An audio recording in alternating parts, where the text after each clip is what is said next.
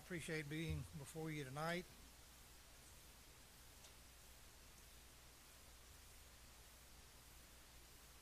You know, there was a time of uh, national decline and political turmoil.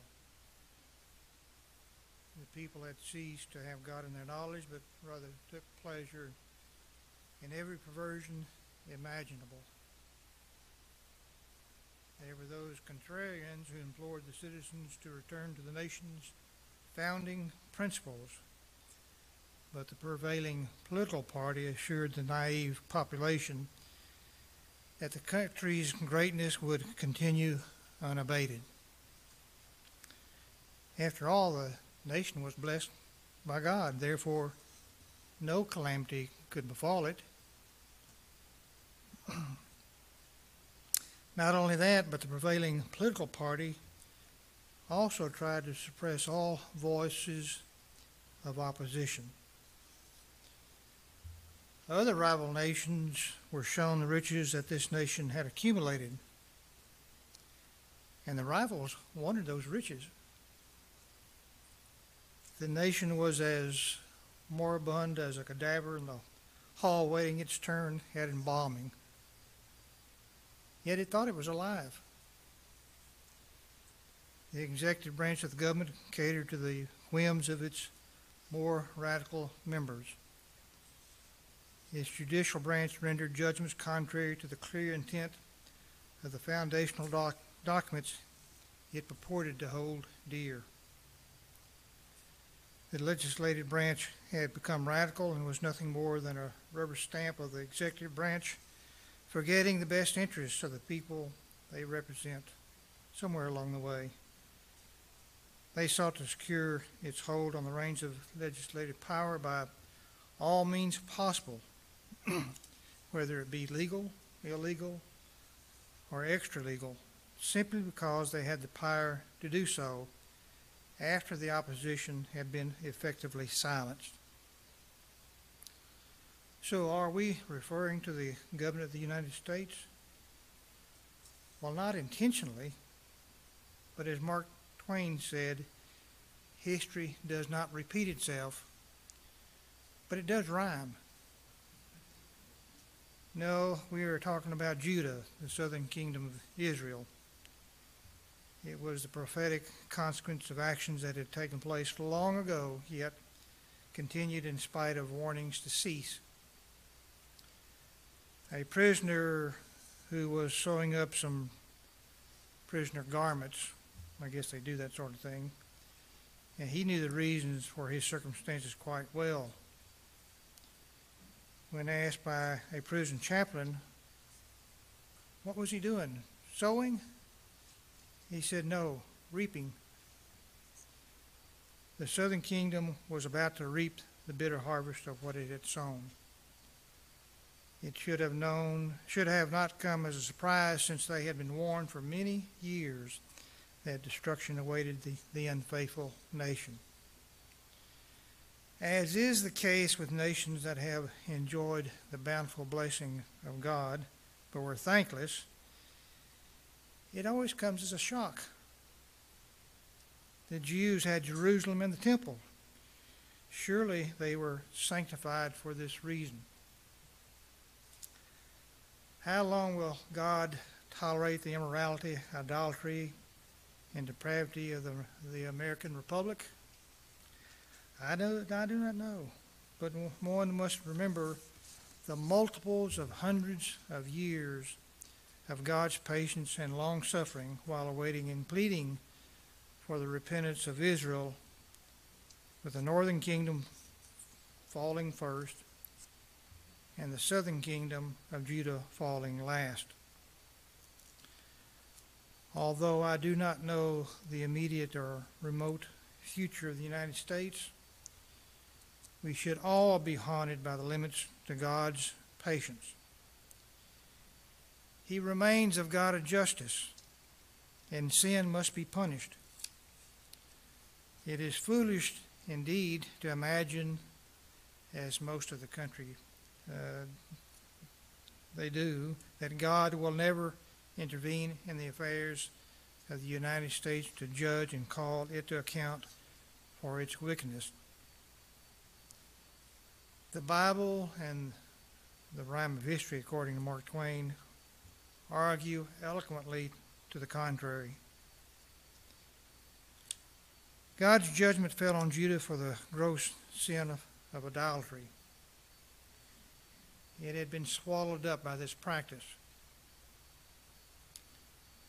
Although it resisted such evil urges longer than the northern kingdom, it eventually fell victim to its own sins. Thus, we begin with our lesson from the book of Daniel. We read in Daniel, the first chapter, verses 1 and 2, that in the third year of the reign of Jehoiakim, king of Judah, Nebuchadnezzar, king of Babylon, came to Jerusalem and besieged it. And the Lord gave Jehoiakim, king of Judah, into his hand, with some of the articles of the house of God, which he carried into the land of Shinar, to the house of his God, and he bought, brought the articles into the treasury house of his God. Thus, the siege of Jerusalem began about uh, 605 BC. I think that's right. I, I went back and checked some of my old calendars, and that was the date I had down. this was the first of three deportations of the Jews. The second came in 597 BC, and the third and last in 586 BC, at which time Jerusalem was also destroyed. It was during the first siege that Daniel and his three companions were captured and deported to Babylon. At the time, they were probably in their mid to late teens, some, somewhere in there. Whatever plans and aspirations they may have had as citizens of Jerusalem ended at such time. Their fate was theirs no longer to control. Or was it?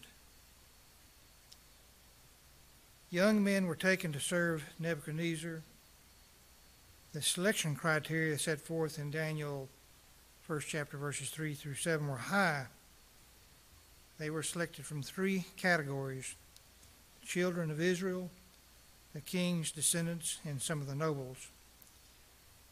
Furthermore, they had to be young men, unblemished, good looking, wise, knowledgeable, and intelligent. And all I can say to that is I'm glad I wasn't living back in Jerusalem at that time. I'm children of the Jews.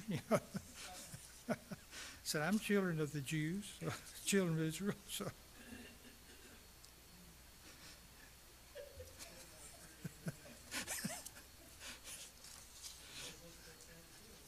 Buddy, you, you would have been safe back then, don't worry. They also had to be able to learn the language and literature of the Chaldeans. Uh, how many were selected? These young men were the creme de la creme. The account only mentions four by name Daniel, Hananiah, Mishael, Mishael, and Azariah.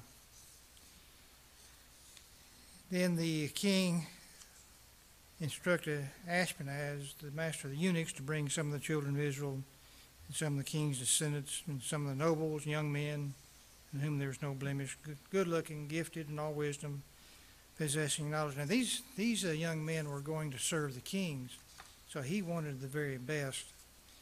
And he also wanted them to be trained because they were going to serve before the king. They just couldn't be, uh, there's protocols that they had to, to uh, abide by. And of course, this selection carried with it certain special favors and privileges, as the Chaldeans viewed it, that is. They were to be given three years of training because uh, serving the king, as I said, followed certain protocols and customs, something a Jew would not uh, know. Further, they were to be given special food and drink that the Chaldeans considered appropriate to the position of a servant of the king. In essence, then, they were to be remade into Chaldeans. Now, with respect to uh, Daniel, he was a keen student of the scriptures. As such, he recognized that the food and drink to be given him and the young men violated the dietary laws of the Mosaical system. Therefore, Daniel protested being required to partake in the things that would cause him to be disobedient to the law. And he purposed in his heart that he would not do so. And we can read about that in Daniel, the first chapter, verses 8 through 16. But Daniel purposed in his heart.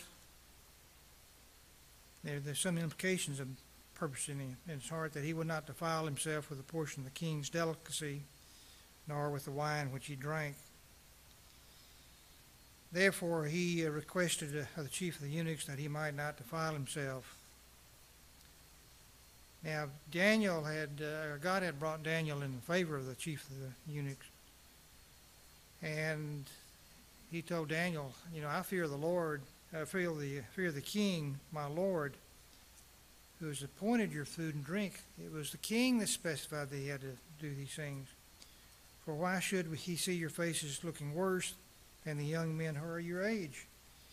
Therefore you may endanger my head before the king. So he had a, he had a legitimate concern. So Daniel said to the steward, Please test your servants for ten days and let them give us vegetables to eat and water to drink. Then let our appearance be examined.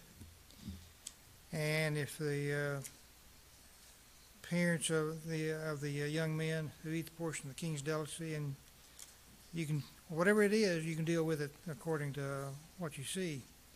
So he thought that was a reasonable proposal, and he agreed to it. Tested him in ten days.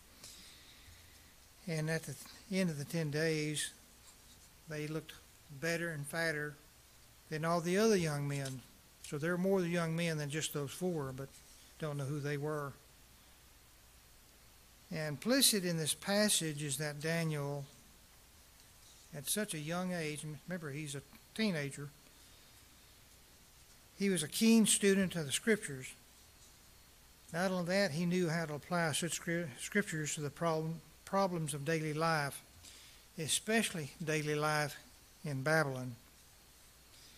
He had discernment, that is, he could apply Scripture to a particular circumstance, and he also had moral courage, conviction.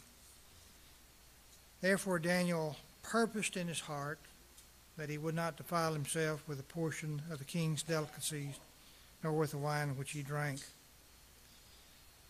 Yet Daniel was polite in his refusal and realizing the impact that it would have on Ashpenaz, he offered a well reasoned and acceptable solution. Please test your servants for ten days and let them give us vegetables to eat and water to drink. Then let our appearance be examined before you, and the appearance of the young men who eat the portion of the king's delicacies, as you see fit, so deal with your servants. This was agreed to as a reasonable request by Melzar, that's the steward that Ashpenaz had set over them. And at the end of the ten days, their features appeared better and fatter in flesh than all the young men who ate the portion of the king's delicacies. Thus the steward took away their portions of delicacies and the wine that they were to drink and gave them vegetables. Clearly, Daniel had faith that obedience to the Word of God would work to their advantage and not to their harm. Daniel had what so many of his countrymen did not have that is, a knowledge of the Word of God, and therefrom a faith to live by in any environment in which he would find himself. It seems nowadays that higher education results in unfaithfulness, but it does not have to be that way. We read in Daniel the uh, 17, the first uh, chapter, verses 17 through 21. As for these four young men, God gave them knowledge and skill in all literature and wisdom. And Daniel had understanding in all visions and dreams. And you can uh, read the rest of that These four young men had knowledge and skill in all literature and wisdom. And additionally, Daniel had understanding in all visions and dreams. Now, Nebuchadnezzar examined them in the Chaldean language. You know, he was a king, he didn't have to do it in Hebrew. And he was a highly educated man himself. Being such, he found them ten times better than all the magicians and astrologers who were in all his realm. It was as the psalmist said in Psalms, the 119th Psalm, verses 98 through 100 You, through your commandments, made me wiser than my enemies, for they are ever with me. I have more understanding than all my teachers, for your testimonies are my meditation. I understand more than the ancients, because I keep your precepts. Secular, secular education cannot provide what the scriptures can. Sir Walter Moberly, he's a British educator, he wrote a book in 1949 called The Crisis in the University. and he quoted there if you want a bomb, the chemist department will teach you how to make, make it. If you want a cathedral, the Department of Architecture will teach you how to build it. If you want a healthy body, the Department of Physiology and Medicine will teach you how to tend it. But when you ask whether and why you should want bombs or cathedrals or healthy bodies, the university is dumb and silent. It can help and give guidance in all things subsidiary, but not in the attainment of the one thing that's useful. We read further that uh, Daniel was a man of principle. He refused the great re- rewards offered by Belteshazzar for the interpretation of his dream. In Daniel 5th chapter, verse 17, we read, Then Daniel answered, after he had been offered these things, and said before the king, Let your gifts be for yourself, and give your rewards to another. Yet I will read the writing to the king, and will make known to him the interpretation. Daniel was not swayed by financial gain. Furthermore, we read in uh, Daniel, the sixth chapter, verse 10, that Daniel refused to obey the proclamation of Darius that denied anyone from appealing to any god other than himself, Darius. It earned him uh, overnight to stay in the lion's inn. It says, read, it reads there, now when Daniel knew that the writing was signed, he went home. That was the writing that you couldn't uh, bow down for any, to any god other than uh, Belteshazzar. And in his upper room, with his window open towards Jerusalem, he knelt down on his knees three times that day and prayed and gave thanks before his God, as was his custom since early days since the time he was a teenager, maybe even before. God admires those who will stand by their principles and words, provided such are based on His Word. The 15th Psalm, which is a very short one, says, Lord, who may abide in your tabernacle? Who may dwell in your holy hill? He who walks uprightly and works righteousness and speaks the truth in his heart he who does not backbite with his tongue, nor does evil to his neighbor, nor does he take up reproach against his friend, in whose eyes a vile person is despised, but he honors those who fear the Lord, he who swears to his own hurt and does not change. He does not put out his money at usury, nor does he take a bribe against the innocent. He who does these things shall never be moved. Daniel distinguished himself above all others the, in the discharge of his official duties. There was no charge of error or fault when he came to the management of his official responsibilities, such that Darius gave thought to setting him over the whole realm. And the other administrators knew that they had to act and act quickly. We'll read in Daniel, the sixth chapter, verses one through five. It pleased Darius to set over the kingdom one hundred and twenty satraps to be over the whole kingdom, and over these three governors, of whom Daniel was one, that the satraps might give account to them, so the king would suffer no loss. Then this Daniel distinguished himself above the governors and satraps, because an excellent spirit was in him, and the king gave thought to setting him over the whole realm. So the governors and satraps sought to find some charge against Daniel concerning the kingdom, but they could find no charge or fault because he was faithful. He was a man of principle, nor was there any error or fault found in him. Then these men said, We shall not find any charge against this Daniel, lest we find it against him concerning the law of his God. The other administrators knew that they could find nothing amiss to charge Daniel with in the discharge of his official duties. They knew they had to find something concerning the law uh, of his God that contravened some edict of Darius. Therefore, in we read in Daniel the seventh, uh, sixth chapter, verses seven through ten, all the governors of the kingdom, the administrators and satraps, the counselors and advisors, have consulted together to establish a royal statute and make a firm decree that whoever petitions any god or man for thirty days, except you, O king, shall be cast into the den of lions. Now, king, establish the decree and sign the writing, so that it cannot be changed, according to the law of the Medes and the Persians, which does not alter. Therefore, King Darius signed the written decree. Now, this did not deter Daniel from his customary time to pray.